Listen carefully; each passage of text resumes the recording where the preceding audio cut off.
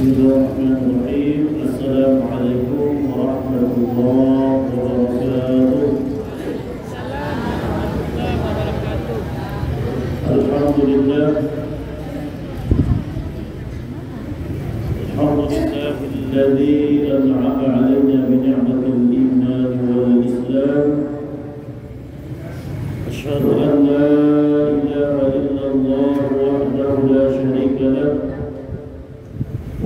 أن محمدا عبده ورسوله.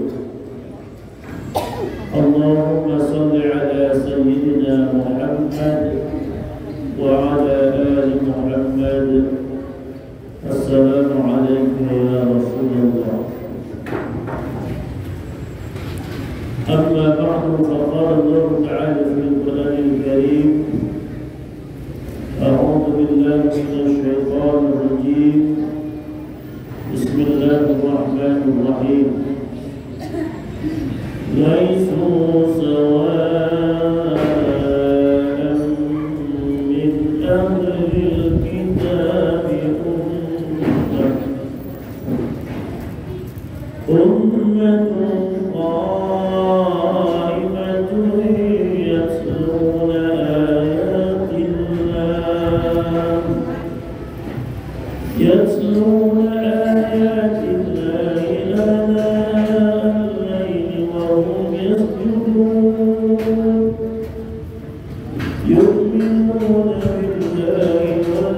الآخر ويأتي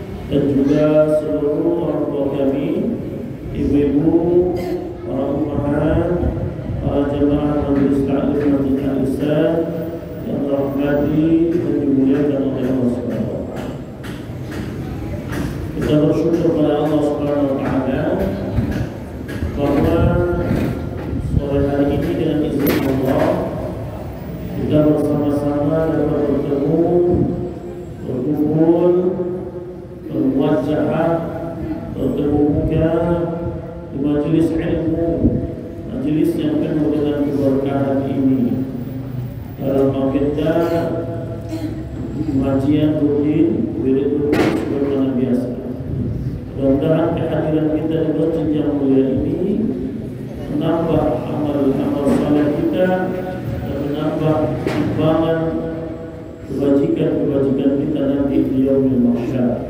Amin ya rabbal alamin. Kemudian kita bersalawat dan salam Menurut junjungan alam Rasulullah sallallahu alaihi wasallam.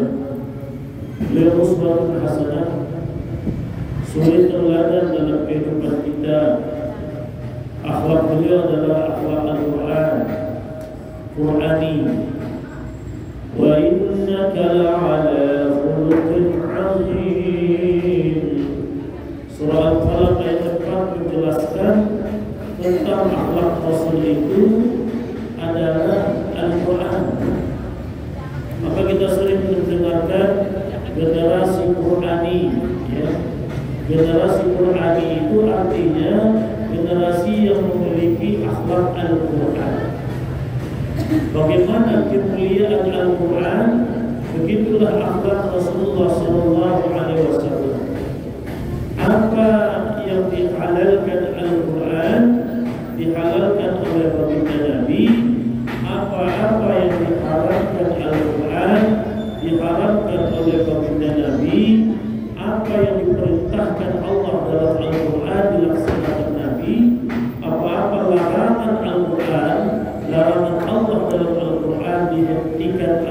tidak melakukan Nabi maka inilah akhlak Al-Quran atau Quran tadi.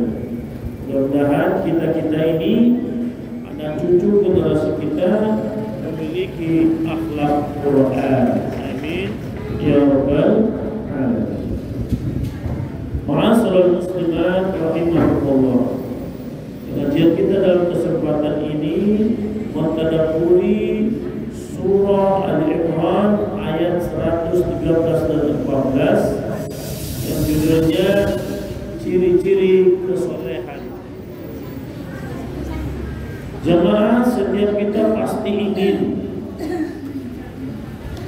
pasangan kita pasangan yang soleh soleha betul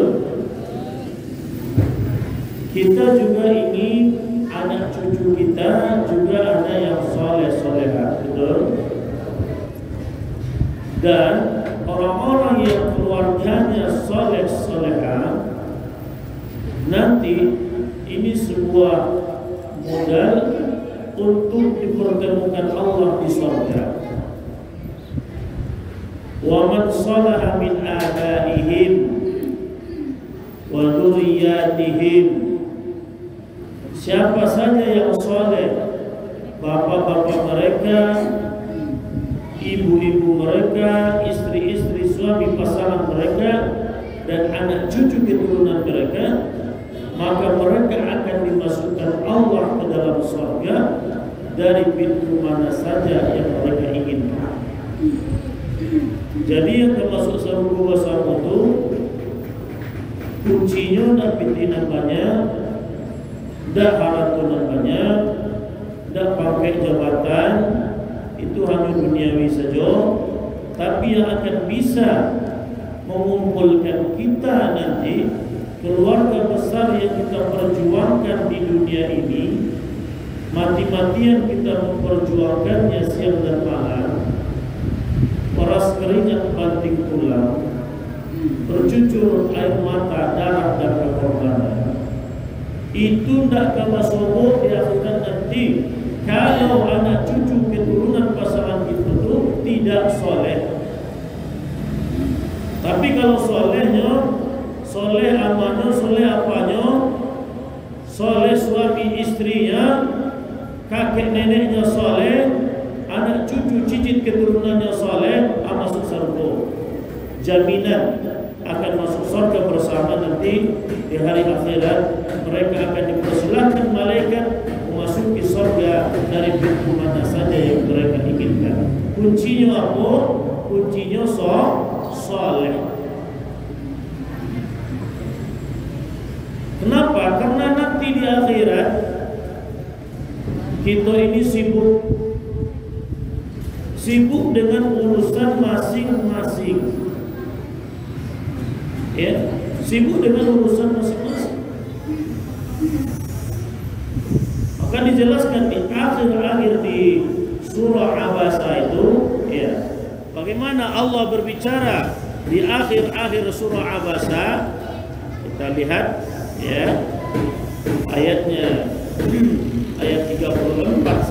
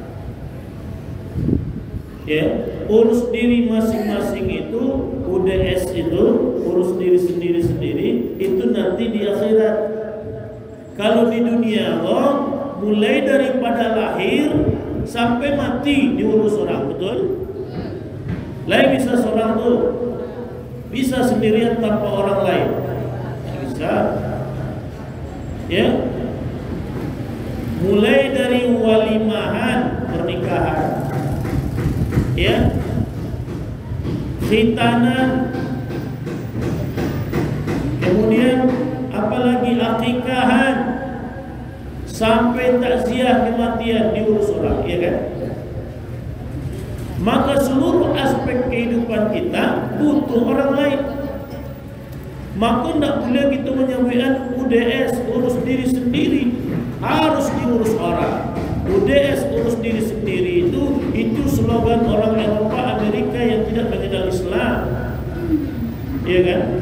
Orang Islam kok harus diurus oleh saudaranya yang lain, betul? Betul.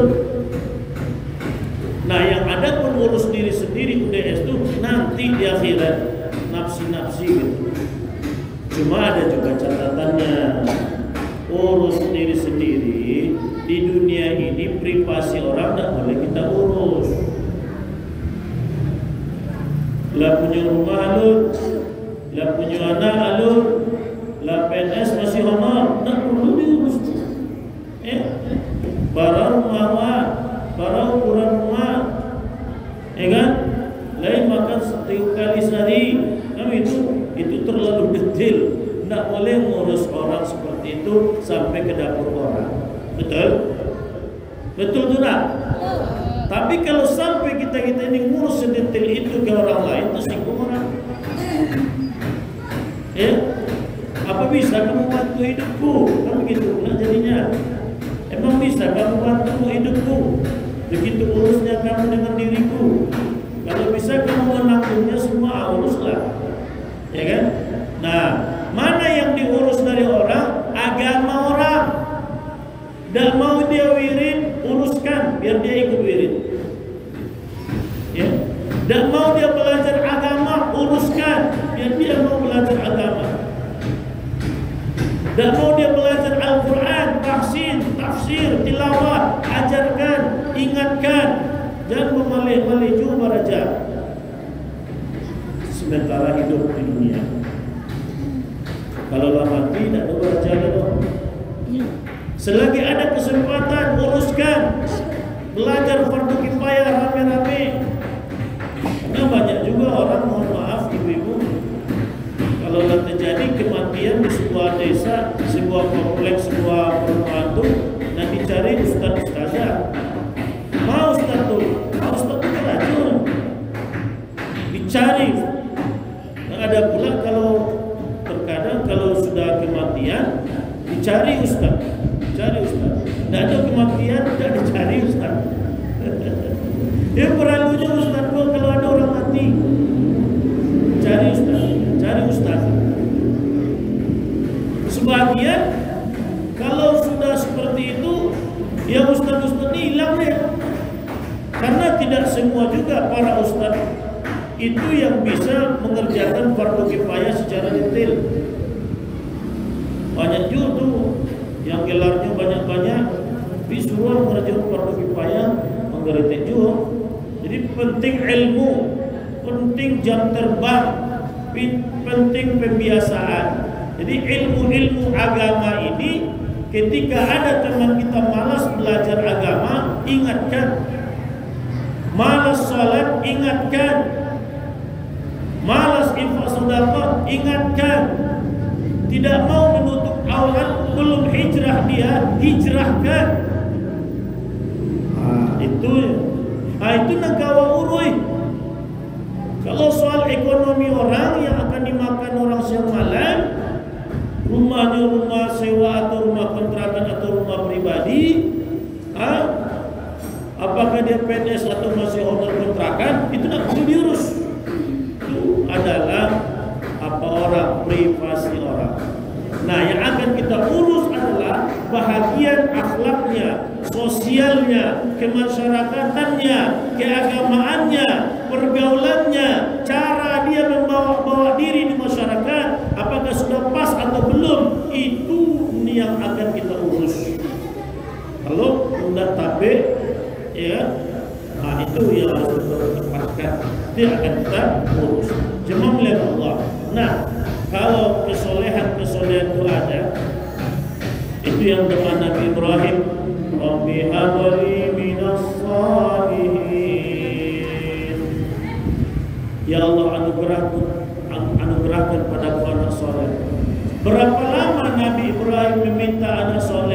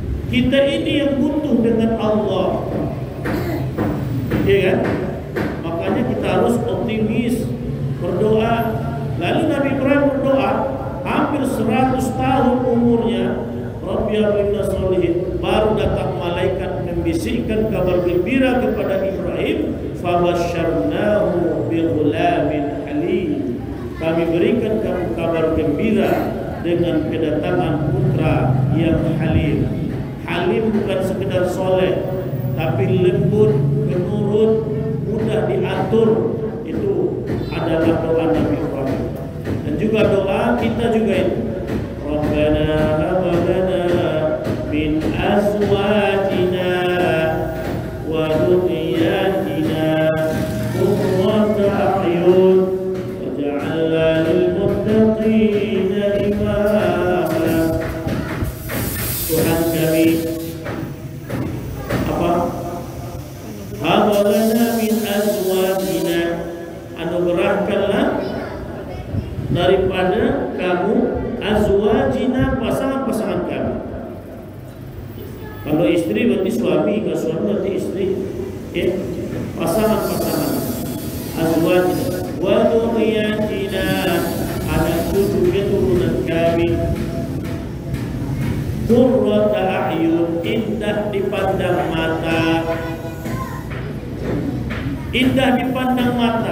senang mata memandang itu yang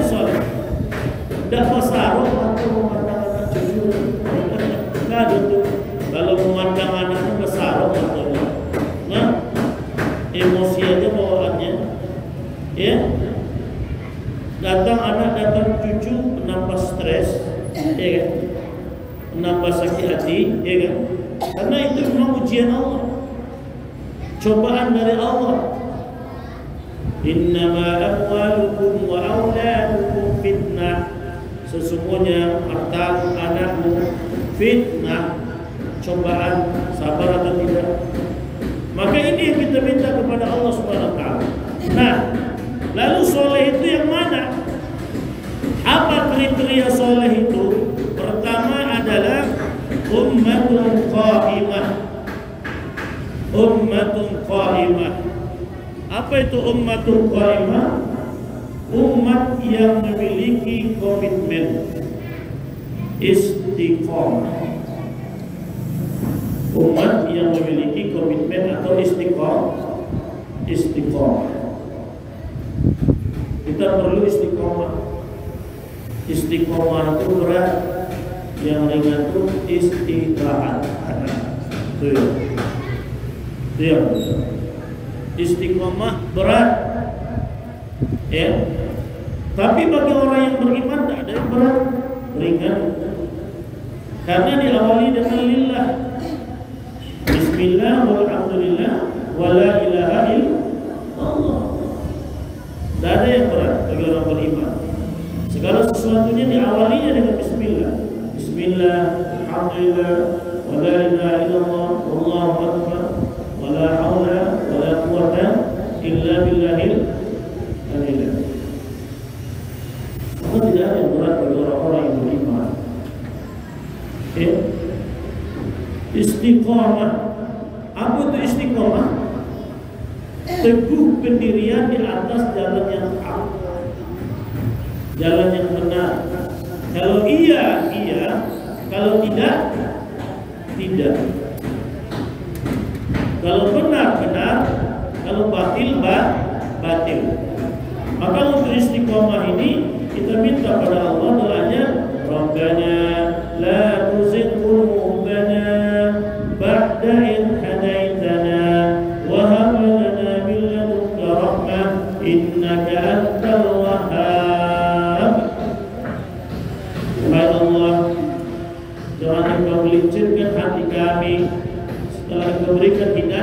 también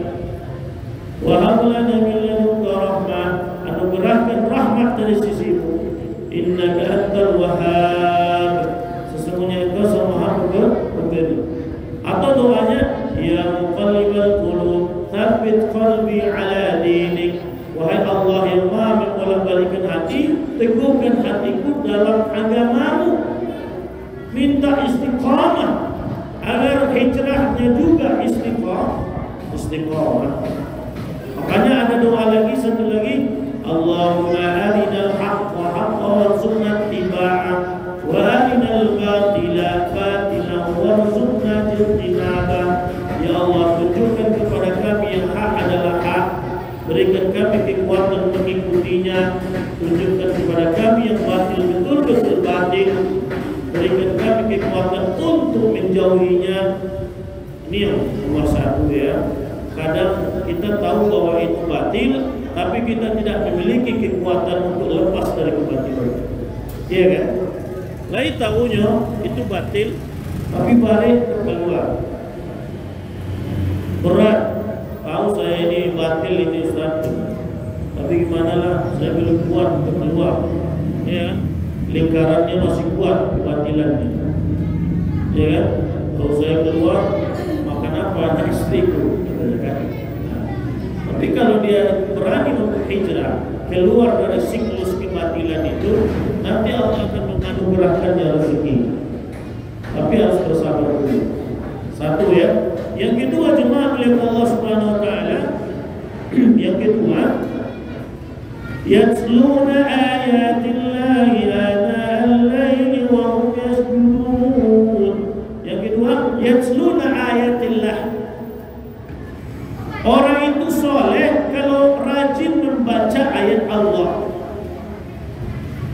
Dalam Al-Quran istilah membaca ada ikra, qara'a, qara'a yaqra'u Qur'anan ikra ada rattala yurattilu tartila ada yang ini dia tilawah ta'ala yatsulu tilawatan masing-masingnya ikra tilawah uh, tartil masing-masingnya itu beda makna-maknanya. Ya. Kalau yatsluna ayatillah membacakan ayat-ayat Allah betul-betul dia mempelajarinya betul-betul dia dibimbing harus ada guru untuk membaca Al-Quran tidak bisa tak pakai guru dong kamu Satya Satya seorang saya tidak pakai guru. Nabi aja gurunya malaikat Jibril. Setiap malam-malam Ramadan di zaman Rasulullah itu Jibril itu turun ke bumi Mekah untuk membimbing, mentalkin bacaan-bacaan Al-Quran Nabi. Nah, itu sekelas Nabi Muhammad tuh Baraja Awal dan Nabi itu Iya kan? Ah. Penting untuk mengaji.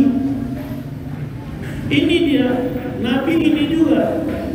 Dalam surah Al-Baqarah jelas betul Alladzina atainahumul kitaba yatlunahu haqqa tilawati Ya.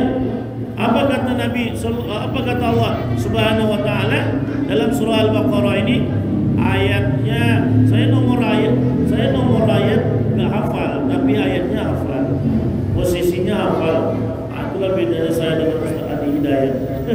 Kalau Ustaz Adi Hidayat detail ya. Saya hafal posisinya hafal ayatnya nomor ayat nggak tahu. Ayat berapa? Ayatnya ayat 121 juz 1 ya. 121 Alladzina atainahumul kitaba. Orang-orang yang diberikan kepada kitab yaitu Al-Qur'an yatslunahu haqqa tilawati. Mereka membacanya dia membacanya dengan sebenar-benar bacaan. Tidak sembarang ngaji tidak sembarang baca ada ilmunya di sini. Salah satu ilmunya ilmu tahsin dan masih banyak cabang ulumul Quran itu banyak. Kamu S1 kamu Al-Quran dan tafsir, S2 kamu Al-Quran dan tafsir juga. Juga kami tambahin masih ngambil juga ini. Ya, ilmu Al-Quran itu banyak cabangnya. Nah, salah satunya untuk masyarakat secara umum yang wajib dipelajarinya itu adalah tahsin ini tangga utama. Bagaimana cara membunyikan huruf-huruf, makharijul hurufnya yang benar dan tepat, sifat hurufnya, ya, bagaimana ya hukum dengung-dengungnya, gunnahnya, matnya, berapa harokat mat matnya itu, ya. Saya sudah buat nih belajar tahsin nih, saya gratiskan di tempat saya awalnya rame lambat laun akan ikut ngaji ujian ah tinggal uh, beli orang lain. Setiap malam baraja tu banyak mau intai di grup WA tu Ustaz maaf Ustaz saya keluar kota. Ustaz maaf Ustaz aku sakit kepala. Aku Ustaz? Anak merengek. Aku Ustaz? Aku ada hajatan aduh aduh saya kalau tidak malam jadwal ada mana tidak ke mahkamah tapi kalau lah malam jadwal beraja ada banyak situ nah, gratis lah ambo fotokopian bahannya ambo fotokopian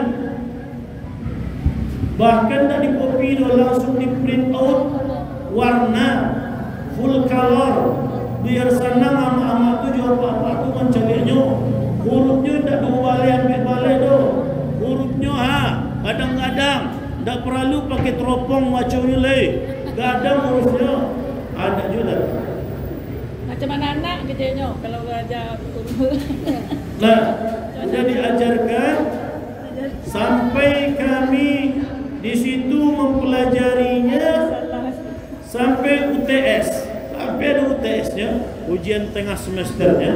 Rencanamu kalau jamaah itu istiqomah sampai ke wisuda orang gaya-gaya kau rencanamu di MTQ kan dulu di MTQ kan di wisuda kan di dijawabkan tak itu di Sumbar tak itu orang di Padang wisuda anak-anak itu sama itu nenek-nenek itu mau itu wisuda orang tuh ya beraja bertahun-tahun sabar akhirnya wisuda santiang sambil mengaji eh tapi tidak sabar dong UTS ujian tengah semester sudah saya bagikan nilainya masing-masing ah masuk jauh kedua bulan ke ah, tinggal lima orang hanya tiga tiga orang lagi Ah, boleh tak sama le?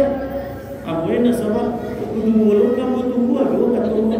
Banyak kerajaan lain. Akhirnya, ah, mama ibu nantilah kita daftar ulang dulu. Ah, kita daftar ulang dulu, registrasi ulang dulu.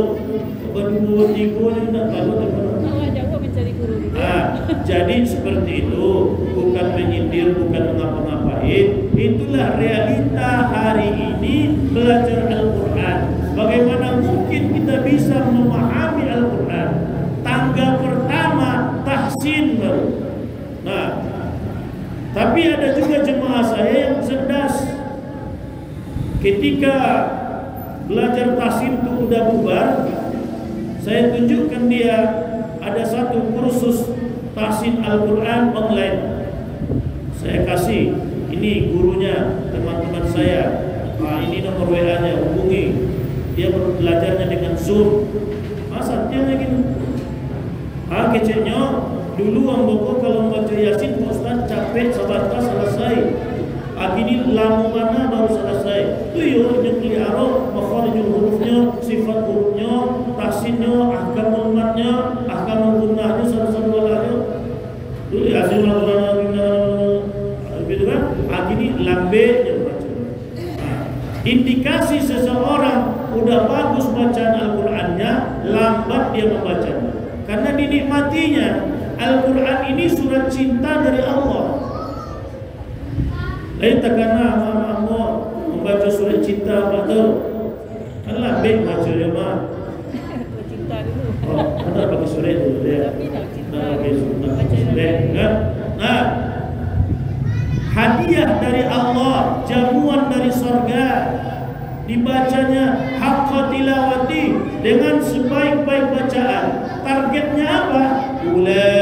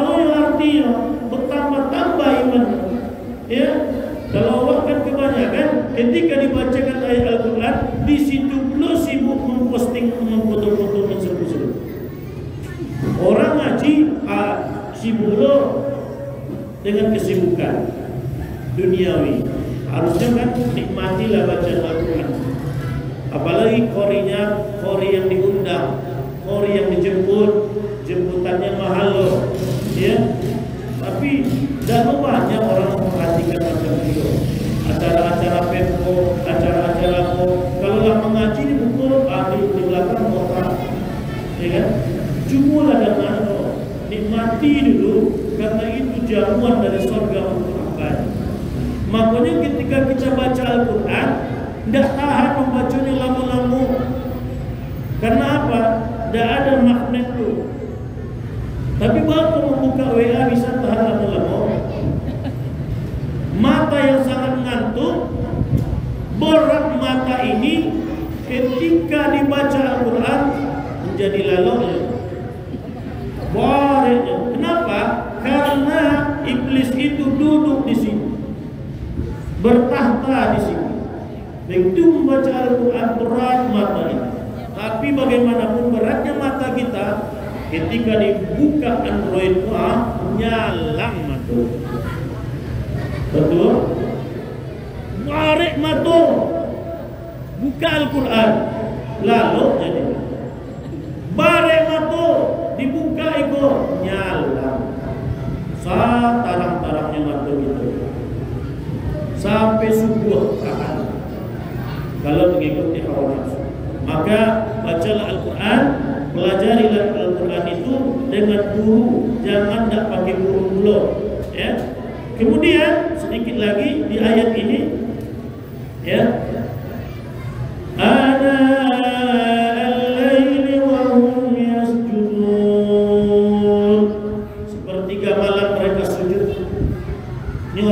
yang saleh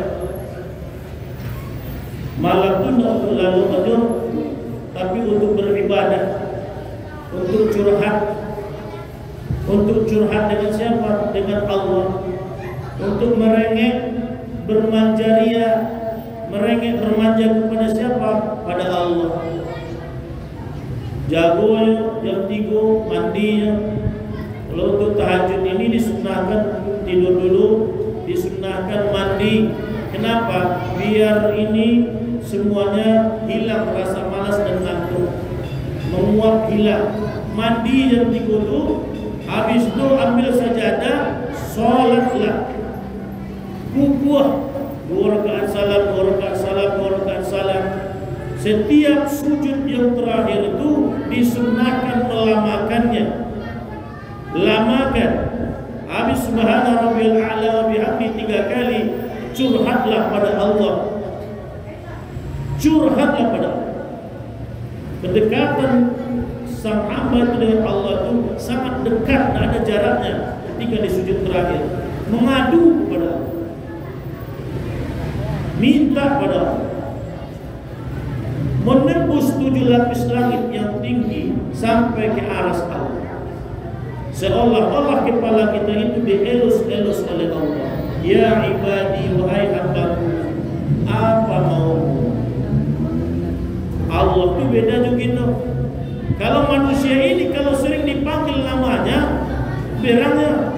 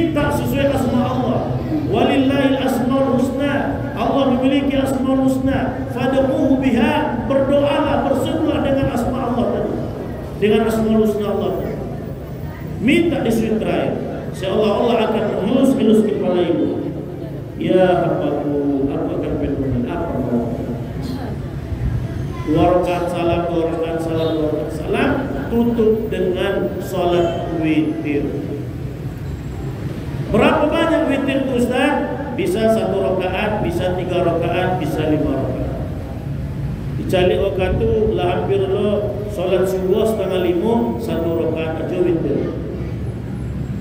Ya, usolli sunnatul witri rakaat lillahi ta'ala. Sengaja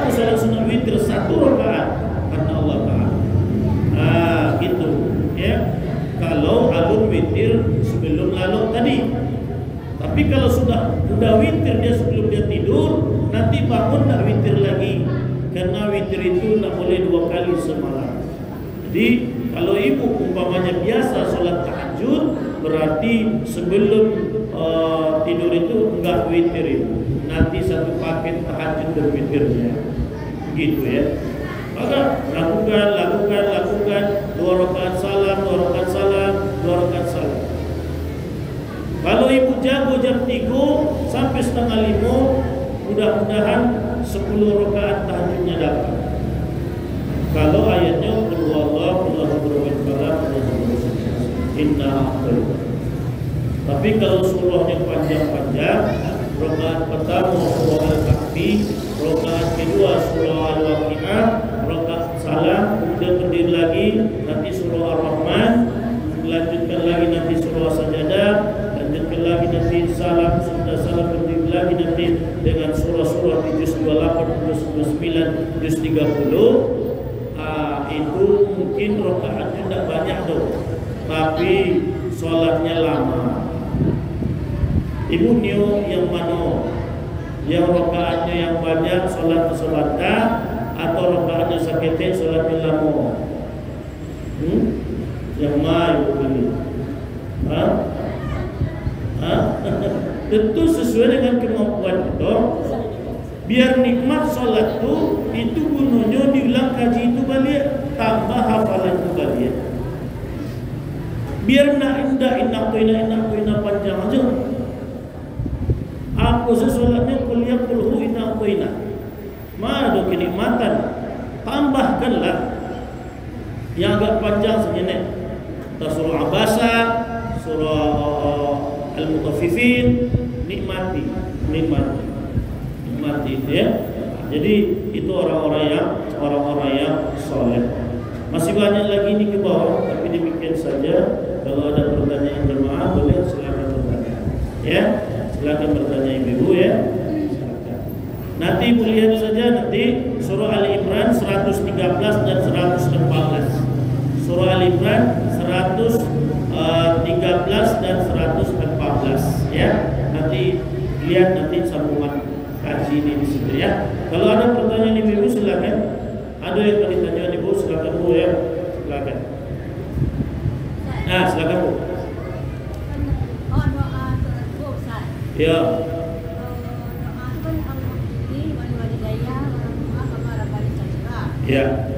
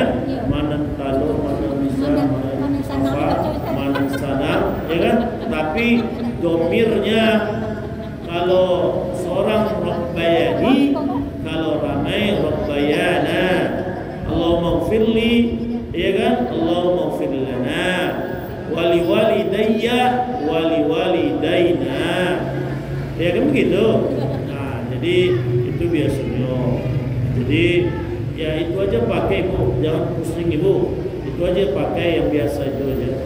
Ya bukan surah al isra itu kan? Surah al ya, kan? isra al quran baik. Ah silakan bu.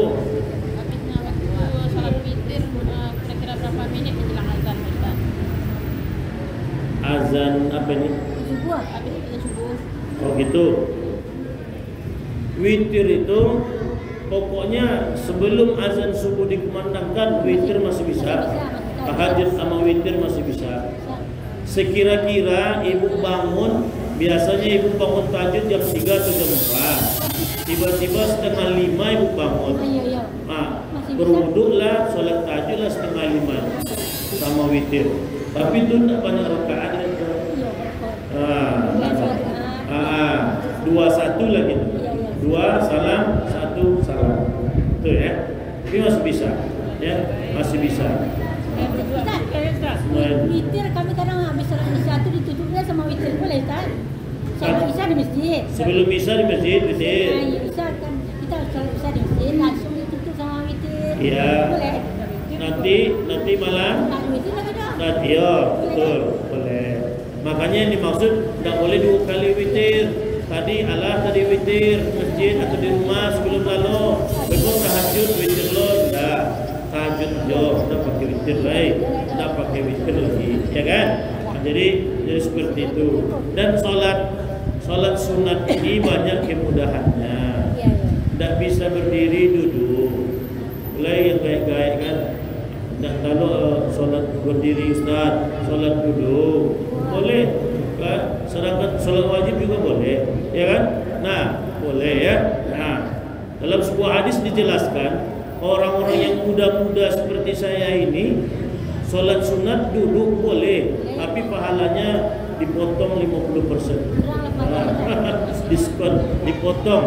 Aturan dapat 100 dapat 50 nya ya. Mudo mudo duduknya sholat sunat. Boleh. Jangan lo jadi fitnah. Bah ibuku masih muda anakku masih muda ustadku masih muda kok sholat qobaliyah ba'diyahnya duduk boleh. Dijelaskan dalam kitab hadis boleh seseorang sholat sunat itu duduk walaupun dia berpuasa walaupun dia puasa mampu berdiri ya. Boleh karena dia sholat sunat mah boleh tapi pahalanya 50 persen. Kalau yang muda kalau yang muda yang kurang kan, Ah, iya. kan nah jemaah. Iya, boleh. Kalau rasul-rasulnya payah salat-salat sunat tu balilah sajadah yang empuk yang tabah tu. No, duit double. Ha? Duit double. Ah, baru sajadah di atas. Jadi ketika sujud kan saya bilang tadi, lamakan sujudnya. Kalau empuk sujudnya kayak di sprint bed, tahanlah tu.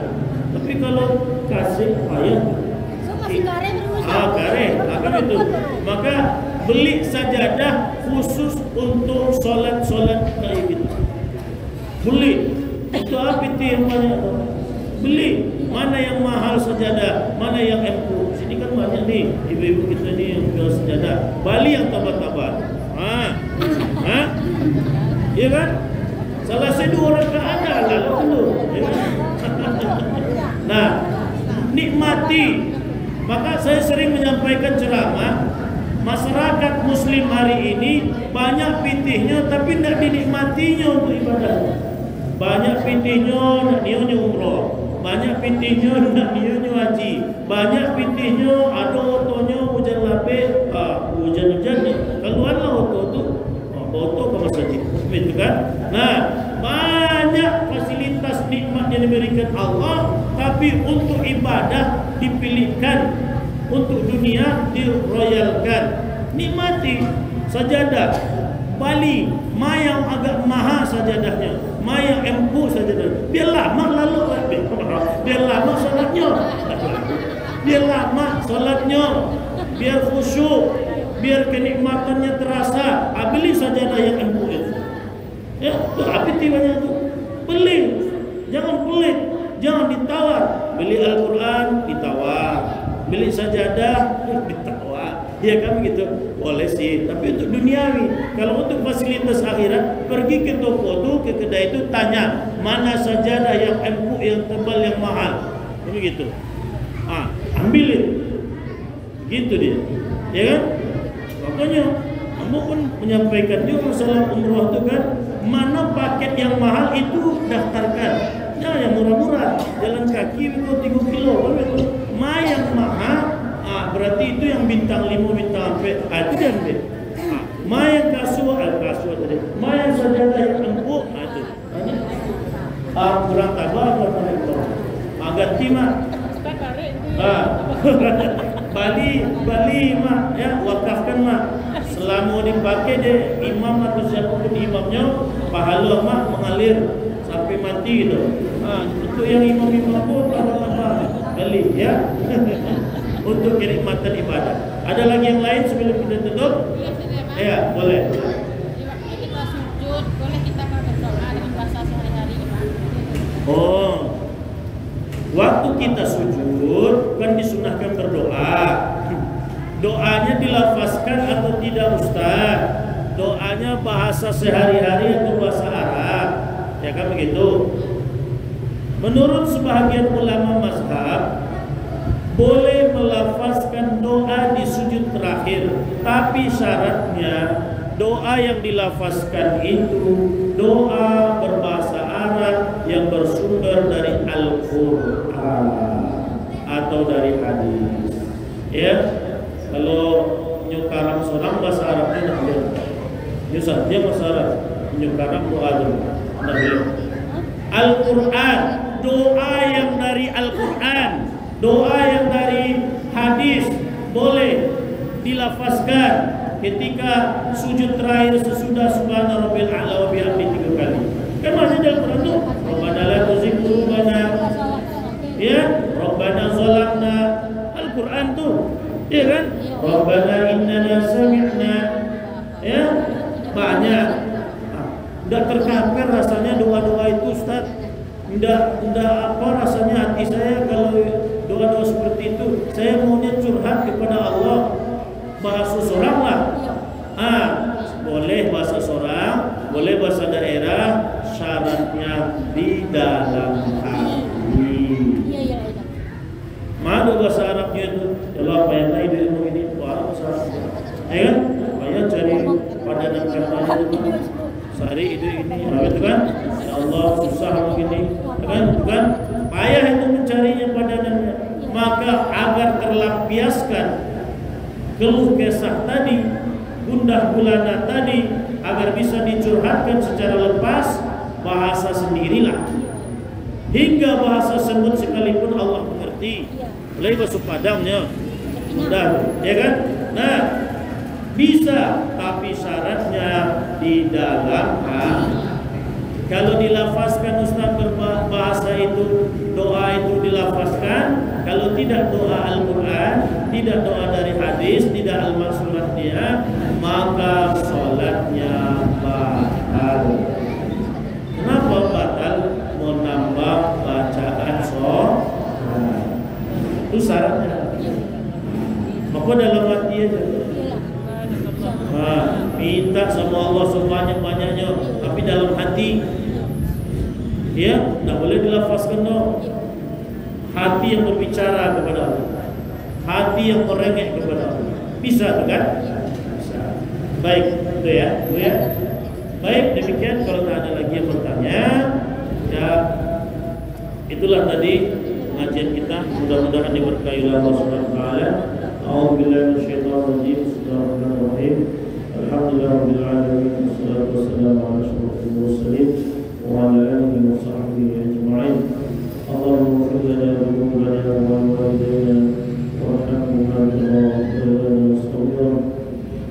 المؤمنين والمؤمنات والمسلمين والمسلمات والأحياء منهم والأموات